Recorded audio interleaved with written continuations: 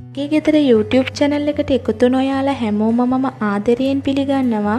මම අද හදන්න යන්නේ ශරීරයට ගොඩක් හිතකර පතෝල සලාදයක්.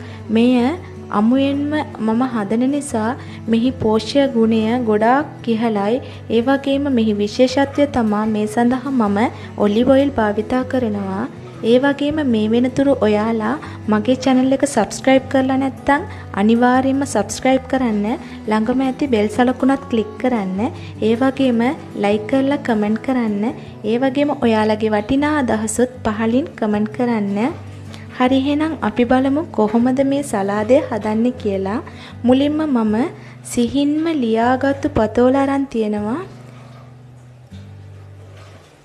ඔලිව් ඔයිල් මේස හැඳි දෙකක් පමණ මම ගන්නවා.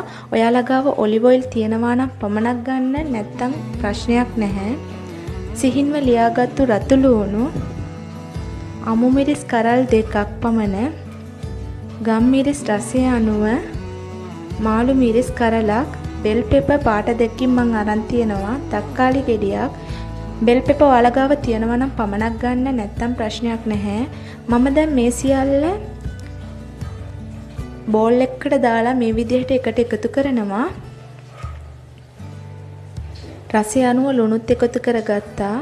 ගම්මිරිස් එකතු කරගෙන මේ සියල්ල මම මේ විදිහට කලවම් කරගන්නවා.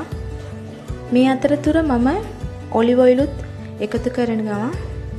එකතු කරලා මේ විදිහට හොඳින් කලවම් කරන්න. ඇත්තටම මෙම සලාදය ඔයාලට ඉක්මනින්ම පහසුවෙන්ම ගෙදර තියෙන බඩු වලින් ඉක්මනටම හදාගන්න පුළුවන් ඒ වගේම අපේ ශරීරයට ගොඩාක් හිතකර සලාදයක්. ඇත්තටම මම හිතනවා මෙම වීඩියෝ එකෙන් ඔයාලා ප්‍රයෝජනයක් ලබා ගන්න ඇති කියලා. මෙම වීඩියෝ එක නරඹපු ඔයාලා හැමෝටම ගොඩාක්ම ස්තුතියි.